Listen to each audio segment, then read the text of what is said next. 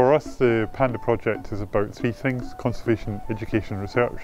And Beyond the Panda Project is absolutely an educational programme which allows us to explain to people the good work that's going on here with our pandas, but also the good work that's going on in China. And so, of course, the whole idea of that is to hopefully inspire the next generation of future conservationists. A really important part of the Beyond Panda programme is the outreach. I go out into schools with workshops and these involve educational games and activities. The children really enjoy building up jigsaws, playing board games, but during this they're learning not only about the giant pandas, some aspects of their biology, conservation, but more about China, the geography of China, the culture and language.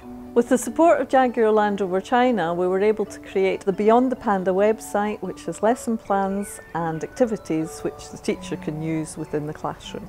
The new idea is that we're going to launch a China mobile library. This will allow the schools to have a loan of a panda box. This means the teacher can use these games and activities in a lot more depth. Today on Middleton Park News, our P5 pupils went to Edinburgh Zoo because they won a competition. Out with the outreach programme, we wanted to continue engagement with the pupils, so we set a few challenges and competitions. One of these was a Take Action Challenge, which we wanted the pupils to come up with their own ideas of how to promote the conservation work that we do. As a result of this, we've had leaflets produced by the pupils, We've had a Scotland-China game and we have an online panda game that you can move between the different habitats of China. And then there was a short story competition run jointly with the Confucius Institute for Scotland Schools. Jaguar Land Rover China also made it possible for a group of students and teachers from Lasswade High School along with myself to visit Sichuan.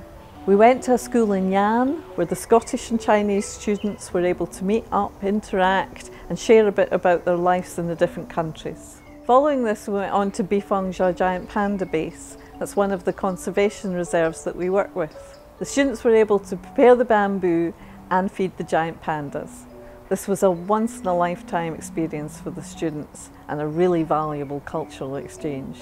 Another one of our partners in the Beyond the Panda education programme is the Scotland China Education Network. In conjunction with them, we hold China Days at the zoo, where a large number of pupils from various schools get to visit the giant pandas, do some activities, and the children get the opportunity to present the work that they have been doing in China to the other schools.